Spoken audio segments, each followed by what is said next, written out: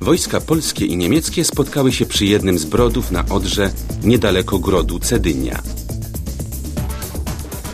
Na przeprawiające się przez płyciznę oddziały, którymi dowodził margrabia Chodon, ruszyła konnica Mieszka, księcia Polan. Gdy rycerstwo niemieckie uzyskało przewagę, Polacy musieli wycofać się w stronę Cedyni. Tam czekała już pomoc. Oddziały Czcibora, brata Mieszka. Wojsko Chodona, otoczone z trzech stron i zasypane strzałami z łuków, musiało uciekać na bagna, gdzie zostało ostatecznie pokonane.